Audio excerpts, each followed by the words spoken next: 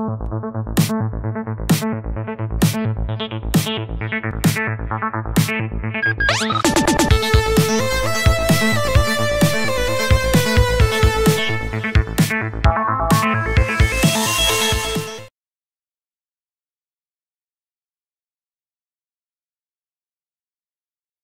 and welcome back to my channel. Today we're looking at future-proofing the monitor for the Commodore PET 4032. And to do that we need to open it up and basically replace all the capacitors in the unit. So the box is uh, booting up fine and looks like we're ready to tackle on this little project.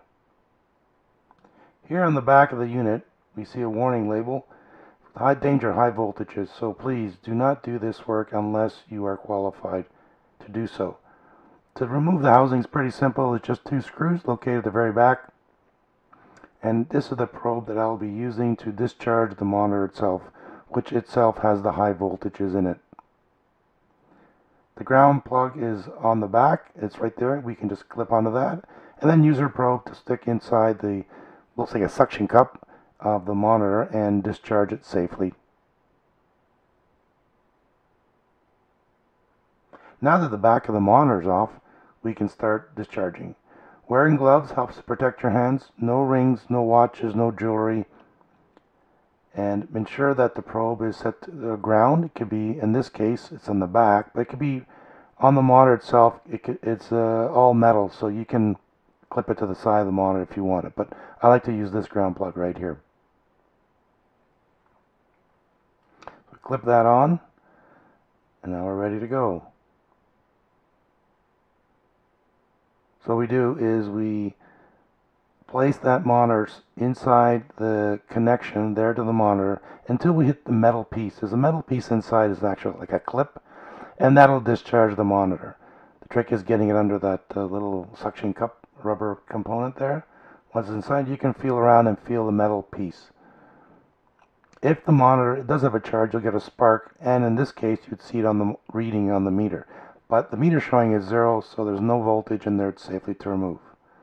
Another option if you don't have that is a screwdriver with some wire. You can connect the wire to the ground. In this case I'll connect it to the side of the monitor. And the other end, which is the uh, attached to the screwdriver, you place the screwdriver underneath again that rubber component.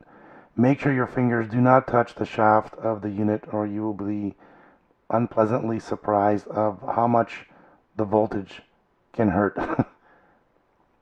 In order to take the the actual component off, you need pliers to pinch the connectors together so it actually pulls out of the actual tube itself.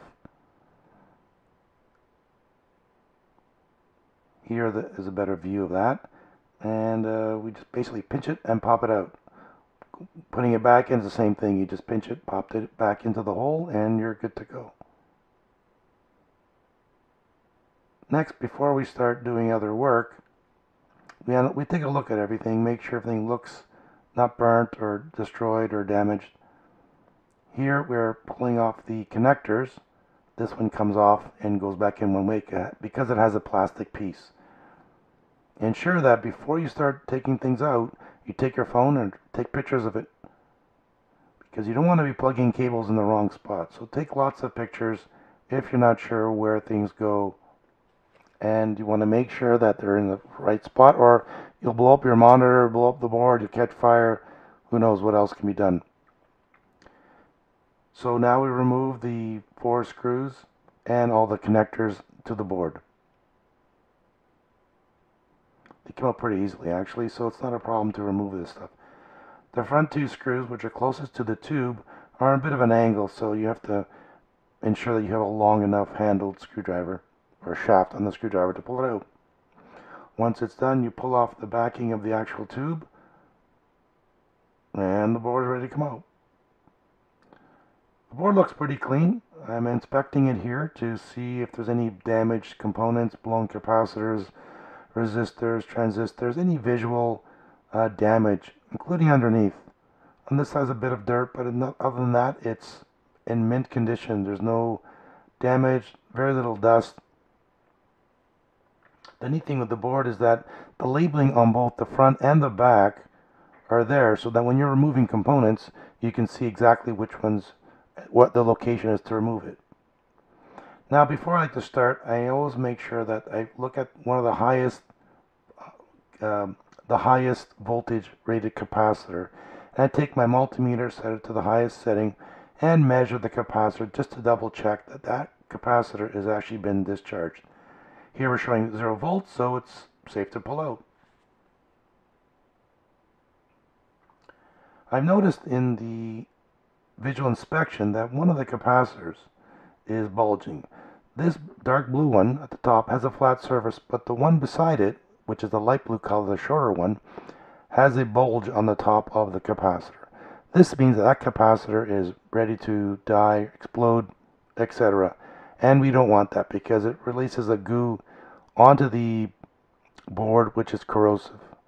So it's a good thing that we're actually looking at this monitor today and getting rid of that uh, bad capacitor. Now it's time to do uh, do some more inspection. And what I have to do is I put a red dot on all the capacitors so that when I replace them, at the end I know that every capacitor should have no dot on it. If there's a dot, means I forgot to replace that capacitor.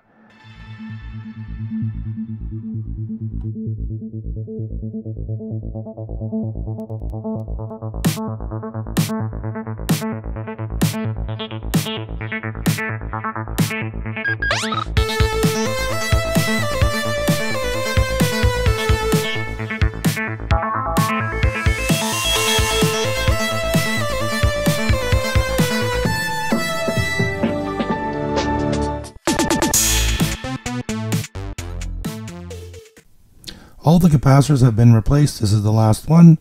Solder it in and remove the excess wires, clean it up, and put it back into the monitor.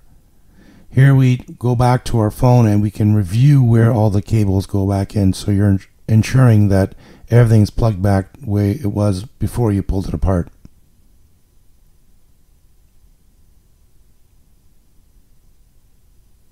And that piece goes on nice and snug. Final piece you can use a screwdriver to, uh, sorry, the pliers to repinch that connector to put it back in. You can push in one side and then the other to put it back on, but pliers work great too, so why not use the pliers? Here I have a bit of a time getting it on because that black, the plastic, uh, the rubber suction component there uh, kept flipping back, but I eventually got it in. As you'll see in a moment, yeah, I'm playing around with it. There we go. It's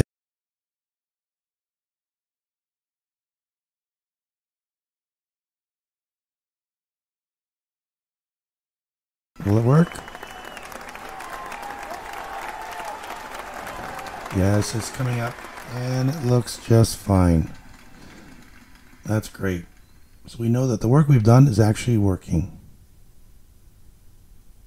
So let's try a couple of commands just to make sure the rest of the machine is working in this case, I'm going to be typing a little hello type program, and you'll have to pardon my finger pecking like a chicken here because I'm at an angle with the monitor and the, the camera in the way, so I couldn't really type properly.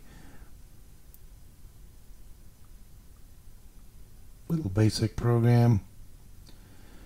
Make a list and let's run it. And there we go. Looks very good. Still centered. Monitor's showing no signs of uh, weirdness. I think it's ready to go. But before we do that, I would like to put on a, a program called Wedge. It comes um, with the SD to PET uh, cartridge. And what that does is allows you to um, shorten commands. So instead of typing catalog, you can type, um, I believe it's, uh, what is it, the uh, ampersand and dollar so here we go, load wedge, and it's comma 8. Once that's loaded, we run it.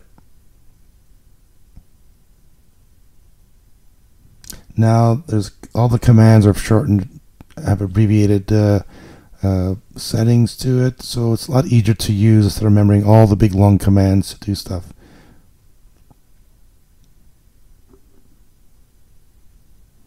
So we're going to load up a game. Up arrow INV for in, in, invaders, and run. Here's a diagram for the sound if you want to put sound on your computer for the this particular game. And as we see, Space Invaders is up and running. And let's see the quick little demo and go from there.